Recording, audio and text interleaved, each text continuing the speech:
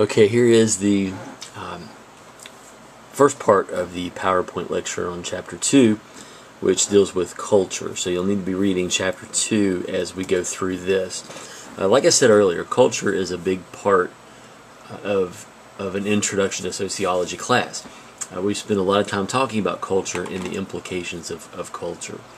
Um, culture is a complete and total way of life for a group of people. And we mentioned earlier, culture incorporates language, beliefs, values, norms, behaviors, and also material objects. And we're going to talk about what all this stuff means uh, more in depth here as we go.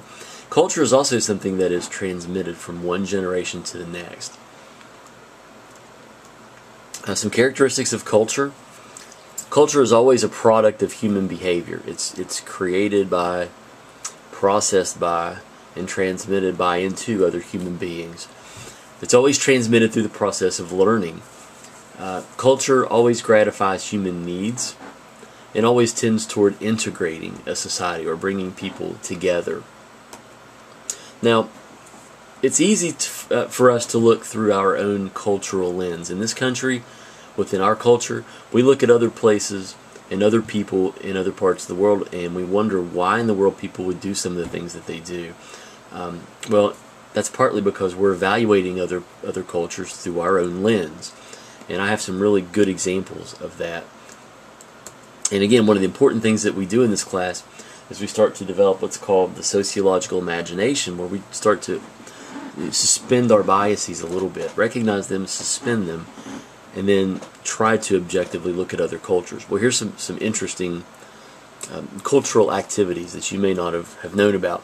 In Russia, it's a traditional drinking game for men to get together and prepare a bottle of vodka for every three men. Now, when you think drinking game, men, alcohol, eh, it doesn't sound too far fetched for our society, but it's a little different. They drink until one falls or passes out, and refusing to drink is considered an insult to those participating. So that that seems a bit strange, maybe to us within our culture. Um, in India, here's another one. Now, this one might get your attention a little more. It is a common practice to toss newborn babies off the side of a 15 meter temple. You heard that right. Tossing newborn babies off the side of a 15 meter temple. Um, according to tradition, this gives the children good luck into their adult years and strengthens intelligence. Or a fear of falling off of tall buildings, uh, buildings either way, right? So think about your firstborn child, whenever that may be for you. Would you be willing to throw him or her off of the side of a temple for others to catch, kind of like that. Well, if you didn't know any differently, if you were born in this part of India, you probably wouldn't think much about it. Within our country, we would define this as child abuse, and you would probably go to jail or prison for doing this. So, uh, here's another one. According to Chinese customs, a husband should carry his bride over a pan of burning coals with entering their home for the first time. And this myth has been performed to ensure that she will have an easy, successful labor.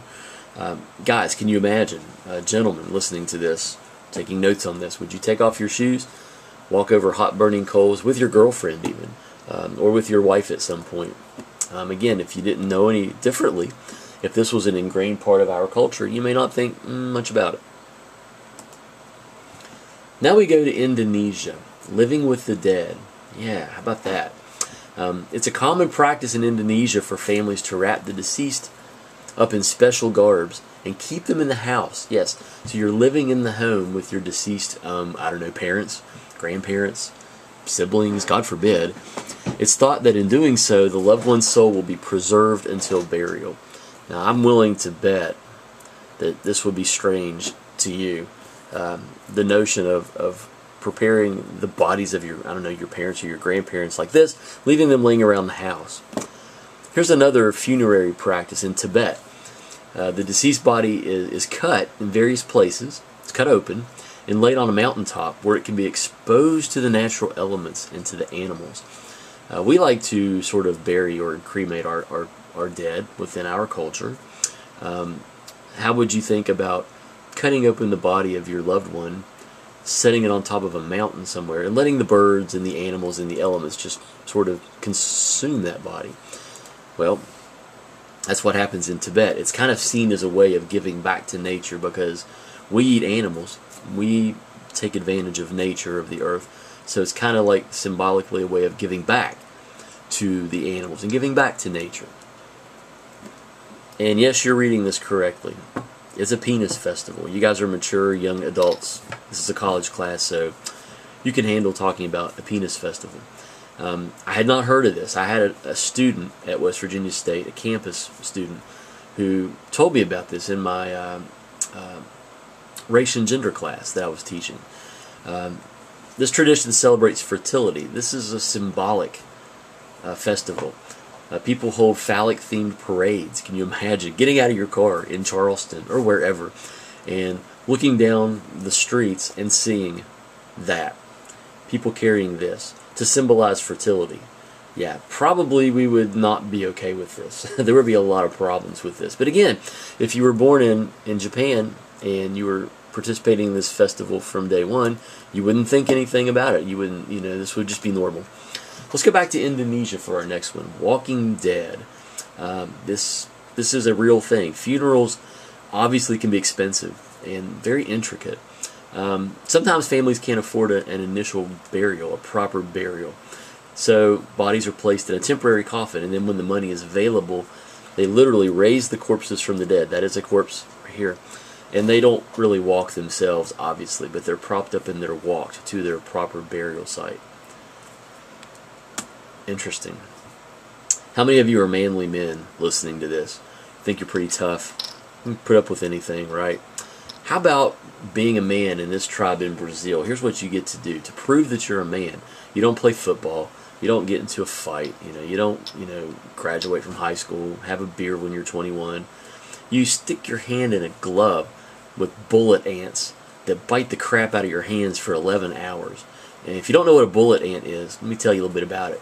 I've never seen one, but supposedly when you get bitten by a bullet ant, it registers the highest amount of pain that one can possibly feel. So imagine sticking your hand in a glove with all of these for 11 hours. Imagine what your hand's going to look like when you're when you're done with that, just to prove that you're a man. Uh, I'll pass. Thank you. Uh, the Yanomamo, ash eating. Uh, the Yanomamo tribe of Venezuela in Brazil forbids preserving or keeping any parts of their deceased.